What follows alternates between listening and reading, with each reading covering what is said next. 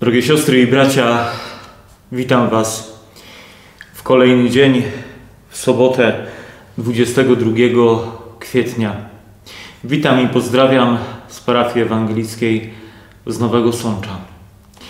Dzisiaj, drodzy, dwa teksty, które chcą nas prowadzić i są to teksty zapisane w Psalmie 39, piątym wierszu, gdzie czytamy: Daj mi, Panie, poznać kres mój i jaka jest miara dni moich, abym wiedział, jak jestem znikomy. A także dzisiejsze słowo chce skierować nas na Nowy Testament. W, drugiej, w drugim liście apostoła Pawła do Koryntian, w piątym rozdziale, pierwszym wierszu tak czytamy. Wiemy bowiem, że jeśli ten namiot, który jest naszym ziemskim mieszkaniem, się rozpadnie, mamy budowlę od Boga, dom w niebie, nie rękoma zbudowany, wieczny.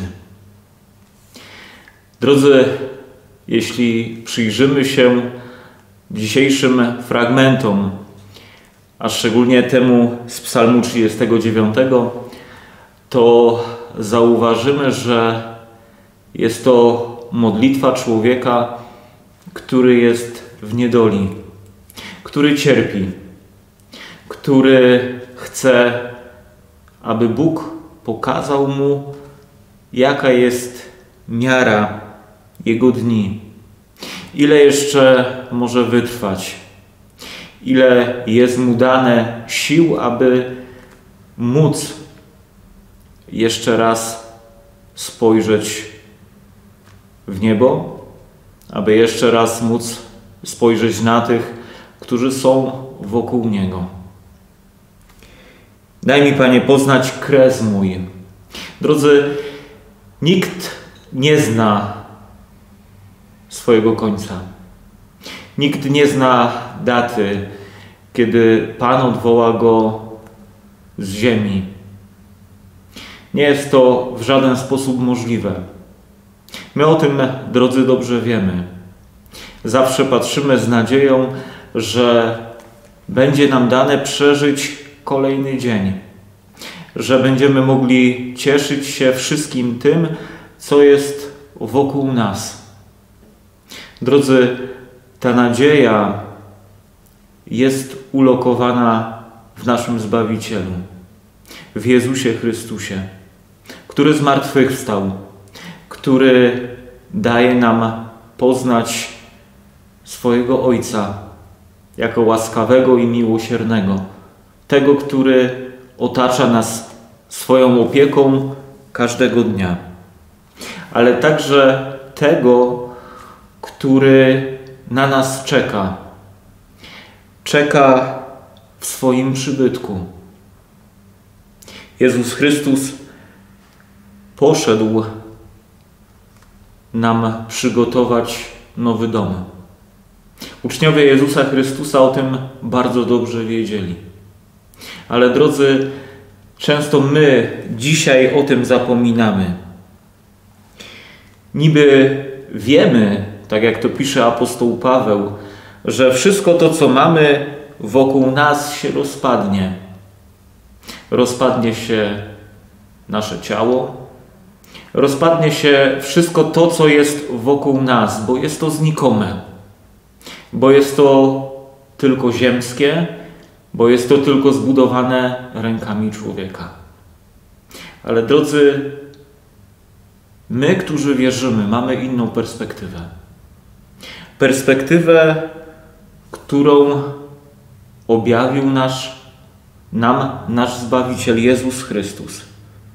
Mamy budowlę od Boga, dom w niebie, nie rękoma zbudowany, ale wieczny.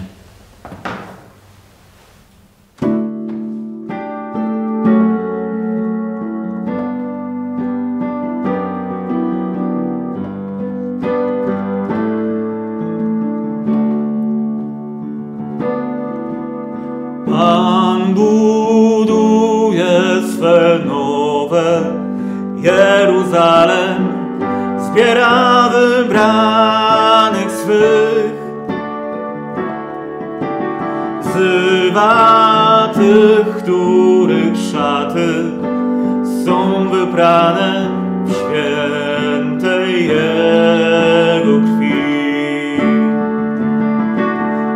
Leczy rany, uciszy krzyk, wszystko nowym uczyni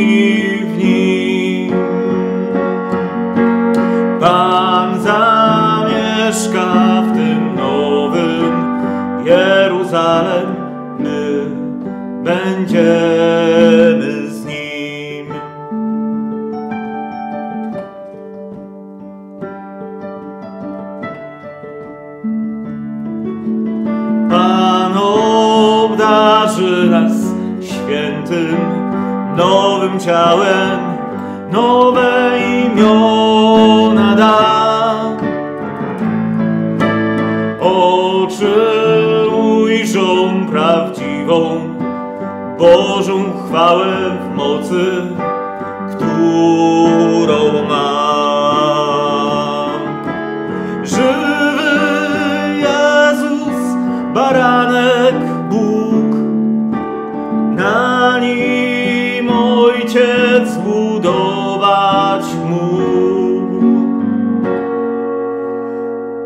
Całą ziemię i nowe Jeruzalem, wieczna chwała Mu.